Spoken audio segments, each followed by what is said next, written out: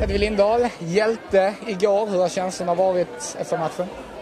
Eh, bra såklart. Eh, bara försökt att njuta av stunden och få energi för att eh, den kommer ju behövas när vi ska möta Brasilien nu i en semifinal. Om du tar oss tillbaka till det som hände igår i straffläggning. Vad var dina känslor under, när, det var, när det skulle dra igång?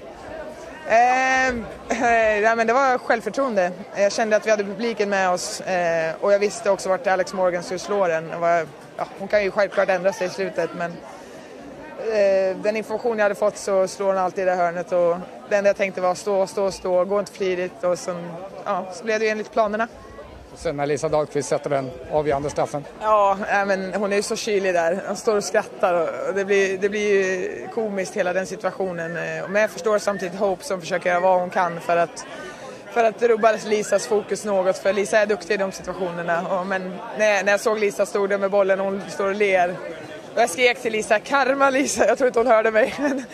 Men eh, om hon håller på sådär så, så tror jag inte man eh, kommer få med sig flyt i, i framtiden. Alltså, så, så nej, jag är så stolt över att Lisa bara satte dit den. Inga sådana tricks du håller på med? Nej, jag, det är inte riktigt i min natur faktiskt. Du, eh, ni har ändå varit rätt så hårt kritiserade efter VM förra året och nu efter det här guldspelet och nu plötsligt är ni framme och ska spela om medaljerna. Vad är det ni har gjort i laget? Något sätt för att åstadkomma det här och kunna slå USA?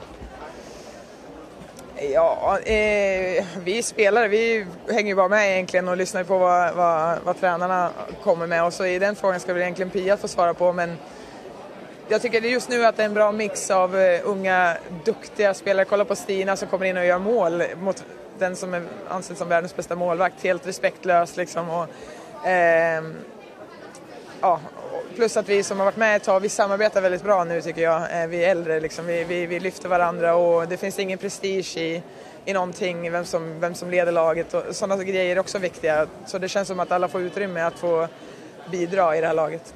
Brasilien nu på Maracana i en OS-semifinal. Är du redo för ett nytt straffdrama? Om det krävs så absolut. Framförallt så hoppas jag att vi kan komma in i den matchen med full energi och få en riktigt bra start och där vi börjar så, så tänker jag.